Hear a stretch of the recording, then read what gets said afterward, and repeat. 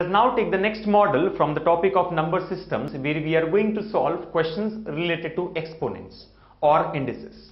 Now to solve questions related to exponents, we should first of all learn the various rules or laws of exponents. So let us understand the different laws of exponents and then we shall proceed to take some examples. The first one here is a power m into a power n is equal to a power m plus n.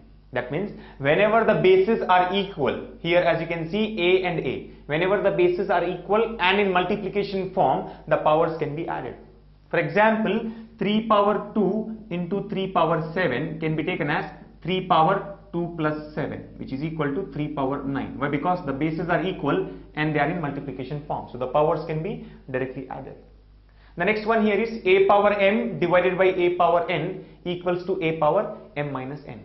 So whenever the bases are equal and in division form, the powers can be subtracted. For example, 8 power 7 divided by 8 power 3 can be taken as 8 power 7 minus 3 which is equal to 8 power 4. So since the bases are equal and in division form, their powers can be subtracted. So we get 8 power 4. The third rule here is a power m whole to the power of n will be equal to a power m into n. For example, 2 power 4 whole squared will be equal to 2 power 4 into 2 which is equal to 2 to the power of 8. So the powers here can be multiplied 4 into 2 is equal to 8. The fourth rule here is a power m into b power m will be equal to a into b whole power m.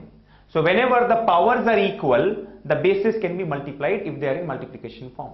For example 2 power 8 into 3 power 8 can be taken as 2 into 3 that is 6 power 8 as per the given rule.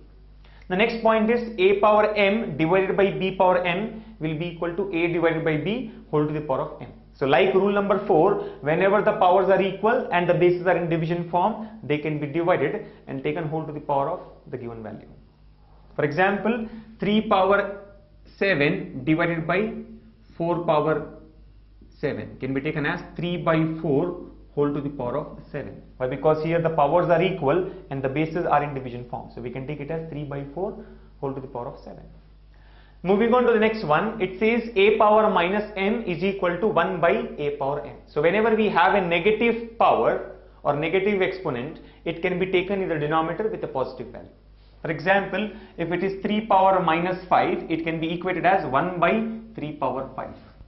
So once you take the base in the denominator, the sign of the power changes. The next one is mth root of a can be taken as a power 1 by m. For example, square root of 4 is nothing but 4 power 1 by 2. Why? Because this is second root of 4. So it can be taken as 4 power 1 by 2. Similarly, cube root of 27 can be taken as 27 power 1 by 3. So that is what is given in rule number 7. mth root of a is equal to a power 1 by m. Moving on to the next one, a power p by q will be equal to qth root of a power p. For example, let's say we have 2 to the power of 3 by 2. So this can be taken as second root of 2 cube. That is nothing but qth root of a to the power of p. Now this is equal to second root of 8 or nothing but square root of 8. Why? Because 2 cube is equal to 8. So this can be further simplified as per the requirement. And the last one here is a power 0 is equal to 1. So any base raised to the power of 0 will always be equal to 1. For example, 12 to the power of 0 is equal to 1 or 3 to the power of 0 is equal to 1. So whatever be the base, when the power is 0, the answer will be equal to 1. So these are the various laws of exponents or indices which are required in solving questions from this area.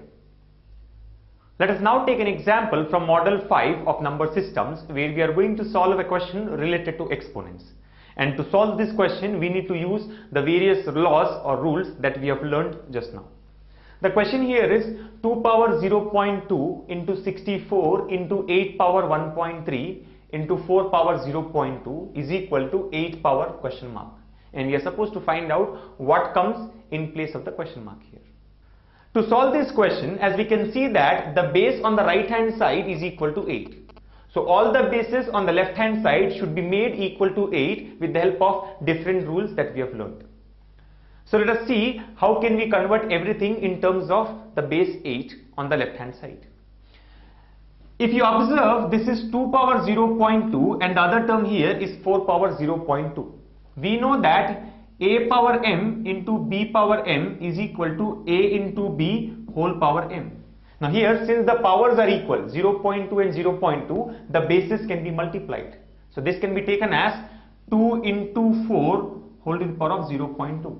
And the remaining part of the question is 64 into 8 power 1.3. So that can be simplified as 2 into 4 is 8 power 0.2 into 64 into 8 power 1.3.